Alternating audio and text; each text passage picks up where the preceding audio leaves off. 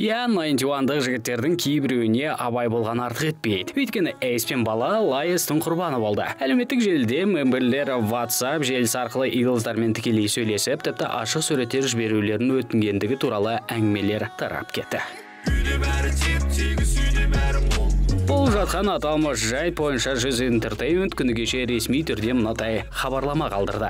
91 тобының мүшелері әлеуметтік желілерді жанкүйерлермен жеке байланысқа шықпайды. Қазір біз тиісті құқық қорғау органдарына жүгініп жағдайды қолға алудамыз. Абай болыңыз. Алаяқтардың әрекеттеріне және хаттарына сенбеулеріңізді сұраймыз.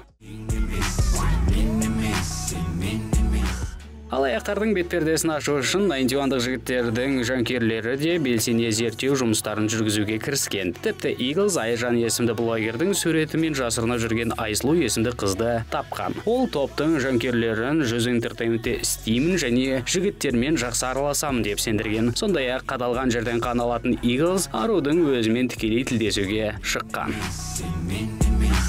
Сонымен қатар желіде эйс тағы бір мәселемен көзге түсті. Иглз әншінің жеке өмірінде қызу талқыға салуда. Фан парақшалардың бірінде олар мемберді мына арумен қосып екі жүрек бір толқын деп жазба жазуда. Бірақ эйстің өз тарапынан жеке өміріне байланысты әлі ешбір ресми ақпарат байқалмауда. Естеріңізге сала кетейік найнти уандық мембер өзінің сүйіктісінің бойынан мынадай қасиеттерді көргісі келеді.